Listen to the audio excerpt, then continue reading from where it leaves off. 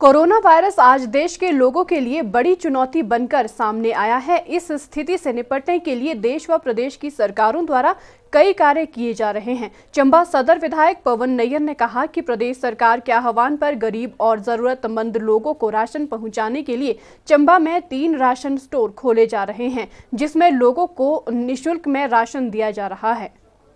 Corona virus को लेकर जिला चंबा में धारा 144 के तहत लगे कर्फ्यू के दौरान चंबा में लोगों को किसी प्रकार की दिक्कत का सामना ना करना पड़े और लोगों को आम ज़रूरत की वस्तुओं के लिए दर दर भटकना ना पड़े। इसके लिए प्रदेश सरकार और जिला प्रशासन द्वारा पर्याप्त बंदोबस्त किए गए हैं। इस बारे में जानकारी देते हुए चंबा सदर विधायक पवन नैयर ने कहा कि सरकार लोगों की दिक्कतों को समझती है। उन्होंने कहा कि केंद्र और प्रदेश सरकार द्वारा विभिन्न योजनाओं के तहत लोगों को लाभ पहुँचाया जा रहा है। उन्होंने कहा कि चंबा में सफ़ाई व्यवस्था बनी रहे, इसके लिए नगर परिषद द्वारा सभी वार्डों में नियमित सोडियम क्लोराइड का छिड़काव किया जा रहा है।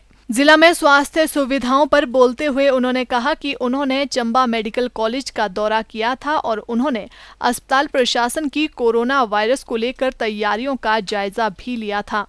उन्होंने सभी से अपील करते हुए कहा कि लोग पुलिस और जिला प्रशासन का सहयोग करें और अपने घरों में ही रहें ताकि लोगों को किसी प्रकार की दिक्कत का सामना ना करना पड़े। पूरा विश्व जो है वो कोरोना वायरस से इस वक्त जो है वो लड़ाई लड़ लड़ रहा है। भारत भी इससे अछूता नहीं है।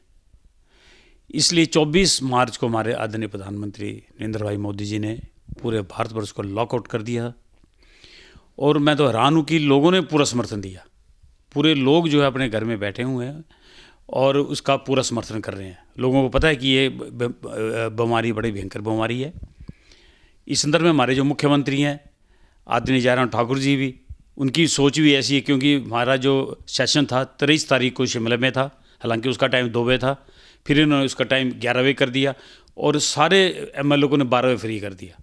और ये हिदायत दी कि हर एक एमएलए अपनी कॉन्स्टिट्यूंसी में रहेगा और लोगों की जो है देखभाल करेगा। हमारे मुख्यमंत्री ने यह भी हिदायत दी है कि कोई भी आपके विधानसभा क्षेत्र में कोई भी आदमी भूखा नहीं सोना चाहिए, कोई परिवार भी है।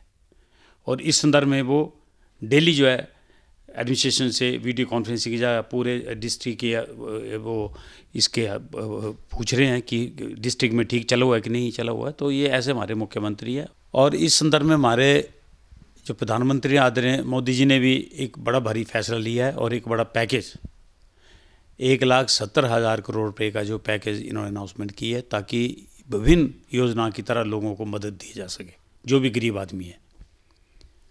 चाहे वो प्रधानमंत्री जन धन योजना हो, इस संदर्भ में जितने भी जो खाते जो है जन धन योजना में खुले खुले हैं, उसमें हर महीने जो है, ये तीन महीने के लिए पाँच सौ रुपये जो है जो इसमें डाले जाएँगे, और इस, इससे तकरीबन बीस करोड़ जो है लोगों को फ़ायदा मिलने जा रहा है। इस तरह ही उज्ज्वल योजना है। इस तरह भी हमारे प्रधानमंत्री सोचा कि लोगों को लोगों को पैसे भी नहीं होंगे, क्योंकि तीन महीने का इसलिए उन्होंने जो है एक एक सिलेंडर फ्री बिल्कुल है तीन महीने के लिए इनको देने की घोषणा। इसमें भी कोई आठ, साढ़े आठ करोड़ लोगों को बेनिफिट मिल रहा है। इसके साथ ही प्रधानमंत्री अन्न योजना के तहत भी हर एक गरीब परिवार को पाँच किलो आटा, पाँच किलो चावल नी वगैरह भी इसमें दी जा रही है। तो ये हमारे प्रधानमंत्री जी की सोच है, ताकि जितने हमारे भारतवर्ष में गरीब लोग हैं कोई भूखा ना सोए और लोगों को तकलीफ़ ना हो।